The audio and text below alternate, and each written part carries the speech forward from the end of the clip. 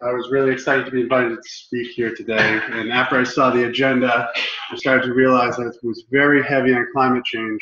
And what uh, we've been working on, what I'm presenting, um, while it isn't focused in, or it's not in response solely to climate change, climate change does play a factor into why uh, there was a need for this uh, landscape assessment as it's uh, increasing the uh, ability of the beetle to reproduce much more quickly, uh, leading to us have to being able to detect, detect it on a much earlier basis.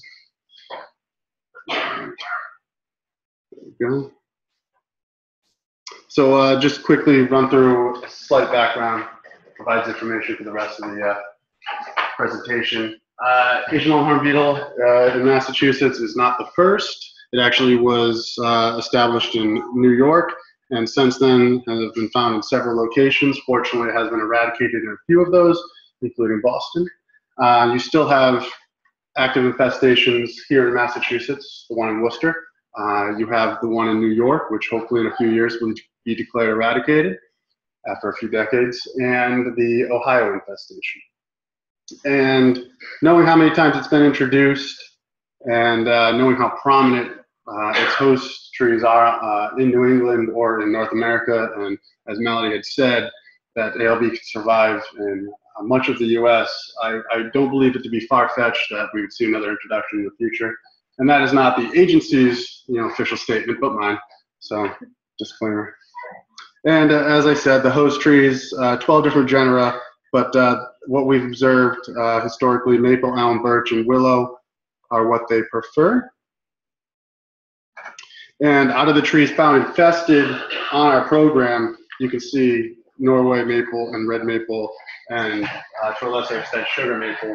And I think that's based on distribution are, are the ones that were found to be infested. And just a snapshot of the damage, because I always like to include that. Some egg sites there. And the extent of what the damage, uh, damage that the beetle can do. That was a tree actually in New Jersey but we have seen the equivalent here in Massachusetts early on in the program. That tree had 800 exit holes, was pretty much completely dead, and was dated to have only been infested for seven years. And this is the uh, scenario we are dealing with in Massachusetts. And what we're trying to avoid in the future is you have uh, complete uh, devastation of the landscape uh, when, well, the monoculture of Norway maple trees in that area didn't help, but uh, when left to its own devices, uh, it can uh, drastically change the landscape. And uh, I like to throw in that now picture because we have done uh, an extensive replanting program in cooperation with the state and the city, which is always nice to see. And this is an overview of our 110 square mile regulated area. Uh, and those points up there are all the infested trees. Uh, this is actually 2016's map, and I forgot to include 2017's though fortunately we've only detected 54 additional infested trees so far in 2017, so that wouldn't change this map too drastically. And uh, last bit of information, uh, we, after approximately seven years, we reached delimitation, meaning we surveyed the entirety of what we had to survey, uh, a mile and a half out from any infested tree back uh, late 2014, early 2015, and now our secondary surveys are underway, and that what that's what led to the, uh, the creation of this this dispersion model or yeah dispersion model and landscape risk assessment. And as you can see, there was quite a few uh, infested trees removed uh, along with high risk, and we conducted full host uh, removal operations on approximately 1,600 acres. And those that those areas where we conducted that removal uh, host density varied from 5% to 95% depending on the landscape. And again, a breakdown of when we found most of those infested trees early on in the program, obviously. And I wanted to include this in the slide or to the presentation because it speaks to how when a infestation is detected, it's, uh, it's very reactive and it's a little bit of a hopscotch around, you know, that, that infested area. And your response uh, initially, it kind of has to go that way. But there's an opportunity once you establish your regulated area and reach delimitation to reapproach it in a more scientific manner. And so before diving into the uh, explanation of the model, uh, just again to give to catch up on the background, when an infestation of ALB is established, uh, the plan is to survey a mile and a half of any known infested tree, which that does work. It's proven effective. We have eradicated it before. But to, after reaching delimitation, knowing that it took us seven years to get to that point, and knowing that we left these original infested areas uh, unsurveyed for seven years, uh, I feel like uh, that's that's that's not proper, and that's a that's a that's not, that's not going to lead to success, uh, or it's actually going to extend the length of the program because you're allowing too much time for that insect to spread. Um, just really a desire to be less reactive and more uh, proactive in decision making from a scientific basis. So here what we have is uh, the dispersion model and an example that I have pointed out is this is our code for designating certain areas. Boy 917 is actually the town of Boylston in zone 9 and a subset of that is uh, unit 17. And there were 60 exit holes found in this uh, clump of infested trees. And uh, the data that, uh, well, the basis of the model, after reviewing all current published data as well as our own data, and there's going to be some other uh, papers coming out based on this work, I think relatively soon, um, from Dr. Talbot Trotter with the U.S. Forest Service out of Connecticut. Um, you have to assume one beetle for every 20 exit holes that are on that tree. And we feel that's a conservative estimate, and that's the way we're always going to go with this type of modeling. Uh, we'd rather be uh, cautious than, than not. And um, again, I wanted to throw this slide in here uh, to speak to, and I should have probably put it before, how reactive you have to be initially. So these are the service calls coming in from the public.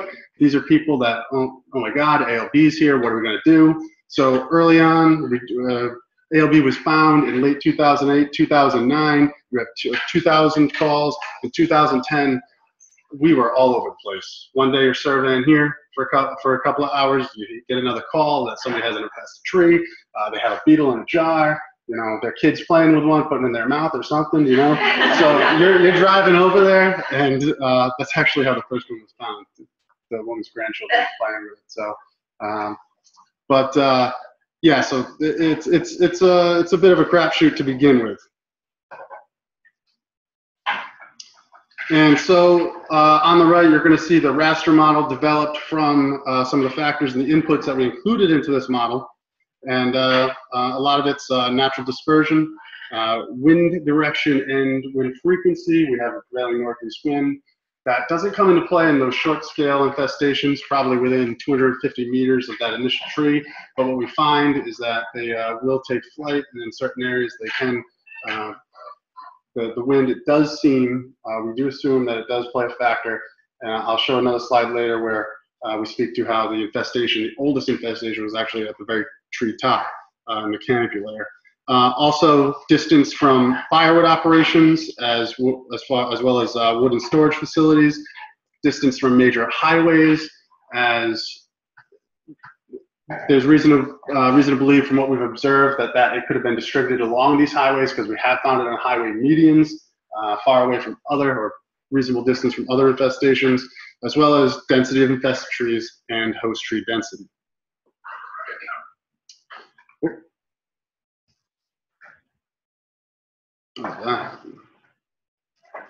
And so we took this uh, raster model, and what we come up with in practice or to use is uh, something like this. The light green represents what we've accomplished for our secondary surveys after reaching delimitation. So this is through 2016 and 2017. We've surveyed everything in green. What you see highlighted in purple, which what was uh, this was what was identified as priority areas from this model. And uh, in going back and surveying these areas, we did find infested trees. But before we go on from that, before we get on a little bit further, I want this is what 2018's model is looking like and is in the works. Another very rough draft, but you can see the areas that have already been surveyed in the previous year uh, come out as uh, lower priority, while the core area is now coming back up as somewhere where we need to get into. Another overall layer to this whole dispersion model is that we have established that we don't want to let any place that has had known infested trees sit there for longer than four years. Four years being that uh, three years we feel is the longest time that it's going to take for the beetle to complete a complete life cycle. And uh, after three years, we feel that if it wasn't, uh, if we couldn't see it from the ground at that point, maybe it's made itself apparent then. But any time longer than four years, which unfortunately we had, as I mentioned before, we see that the spread can uh, actually be quite severe. And this is a very rough draft of 2019's model. Um, everything else has been grayed out, and these still show up as low priority right now because the completion date for survey hasn't been input into the model yet. Once that is uh, input into the model, those will show up as uh, much higher priority to get into. And uh, a zoom in of that Boylston Zone 9 Unit 17 that had been mentioned before. Uh, you see here three different clusters of infestation. And these are the ones where this is on the left right here was stated to be the oldest, uh, second oldest, and the youngest. And you can see that those 200 meter raster grids uh, show pretty much or emphasize the priority to get into there, or at least the greatest uh, the greatest chance of encountering a beetle. So this model isn't necessarily predictive as to where the beetle is going to go, but where the chances of uh, encountering that beetle. So next slide. Here we've applied uh, our standard buffers, and um, this has always been a practice. We apply a buffer, we go out and we survey it, but instead of going and surveying the complete 1.5 miles from that source tree, we're able to now better manage our staff and our resources to reach a set confidence level. Rather than just saying, yeah, we're going to survey a mile and a half, we're going to say, well, we want to reach a confidence level of uh, you know, 90% or greater than 10% chance of encountering the beetle. And even within that, we can say that we'll dedicate our climbing or aerial surveyors. We have teams of uh, specialized skilled climbers that can survey the trees more thoroughly. They can be focused in and around this area, where then you assign, assign your ground survey crews to these outer buffers. And so, and so now you avoid uh, overcommitting your staff to certain areas where they're going to be going on and surveying for months on end. Um, so therefore, uh, once you reach that confidence level, you're able then to move them on to a different area, thus uh, decreasing the time and actually detecting further infestations earlier, earlier detection, and and uh, just becoming and just being a little bit more efficient with the work that we're doing. Um, and also, the other buffer wasn't included in here, but this infestation right here, it would have been captured by what the model had uh, projected, or at least uh, the buffers that come from that model. And this is the original raster that we've raster map that we've been looking at. Um, and this is still in development. Uh, we are on version 1.0. Uh, this is hopefully version 2.0 using 40 meter uh, rasters. And uh, the ultimate goal is to have this not only utilized in Massachusetts, but uh, looking at working with the Ohio program as well as possibly the New York program and any future program going forward.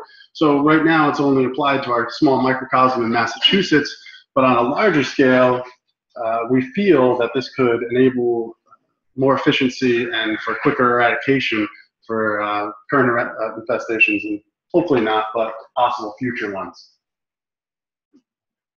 And uh, a couple of points I wanted to make on that one, and I'm sorry I had to refer to my notes, but uh, really it's it's a combination of just being more efficient, but also what I found in experience is uh, early detection is a factor of public participation. We all say citizen scientist, and uh, out of all the talks I've done, uh, I, early on, you, you, you talked about the mile and a half survey, whatnot. People, they ask a lot of questions. The more I talk about the science, the more I talk about how involved uh, we are in uh, analyzing this stuff, the more trust we've and uh, confidence we've received from the public. And in turn, we've received uh, many more phone calls and much more cooperation, and people still calling, which, you know, there's, of course, there's a lot of uh, folks that just want to chat. You know, they just think they have a deal. A lot of elderly folks just want someone to come hang out. Uh, but, but there's also a factor of it where people are calling fully knowing that if they do have a beetle on their property, that that tree is going to have to be removed and that's drastically going to change their landscape. So to me, that shows that these people really do care, and and I would like to hope that uh, and, and they believe really what we're what we're working on. And, and coming from a basis of science, I feel like that, that helps build that confidence. So aside from the model within our regulated area, in uh, another effort we're making towards early detection is looking at uh, high risk sites outside of the 110 square mile area. So these are uh, calculated through factors such as um, they've all done work or have some relation to doing work within the regulated area uh, in ALB quarantine zone.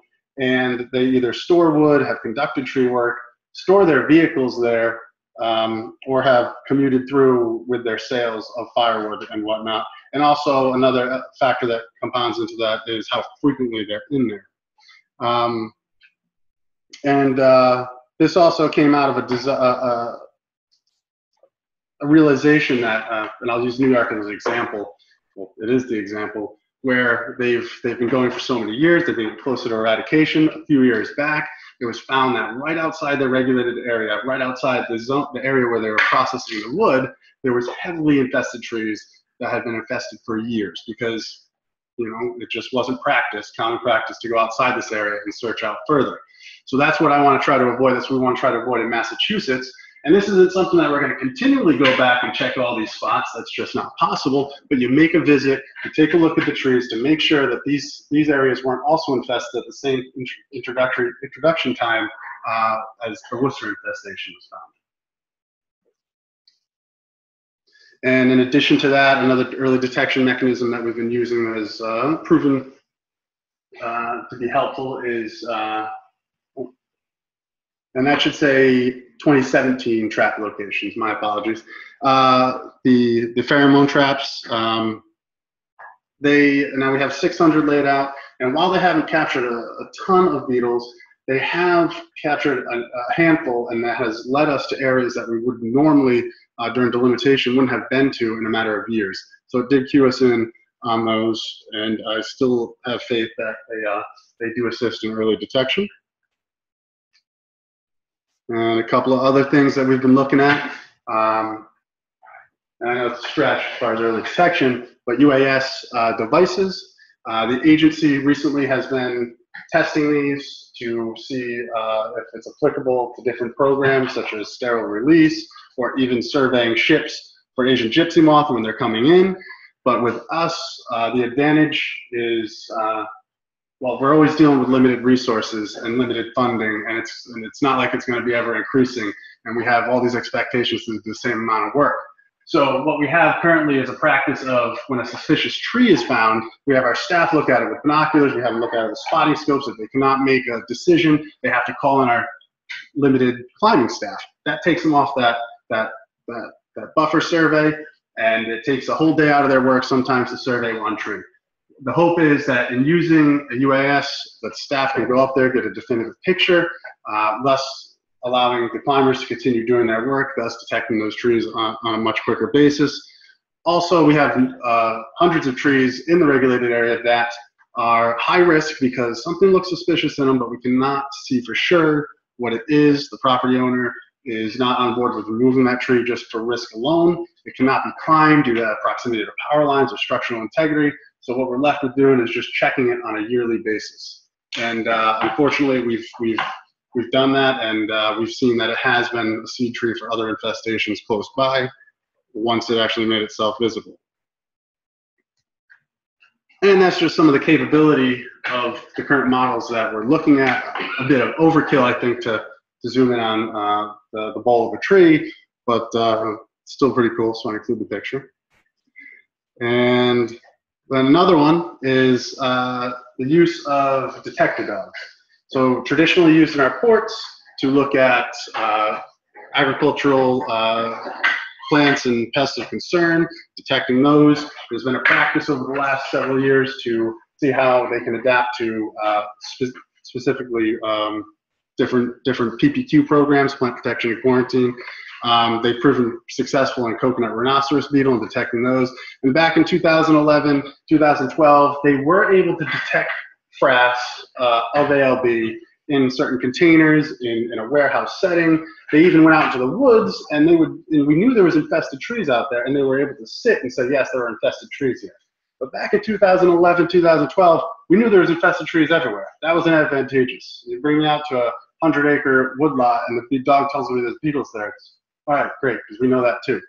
Now, uh, if you could, if I could take uh, 10 different areas that have historically had infested trees, and we know we have to get to them sooner than later, and you can bring these canines out there, and they can tell me that uh, possibly that two or three of these have presence of ALB while the others do not, that'll save us a considerable, a considerable amount of time and allow us to get in there uh, much quicker and thus removing those trees and hopefully avoiding those acreage removals that we've had during the past. And, uh, you know, I would love to have Dr. Talbot Trotter here because he's the man who programmed much of this, uh, along with a few of the uh, other folks out of my office. But uh, he is on detail, so I just wanted to throw a special thanks out to him. And uh, questions?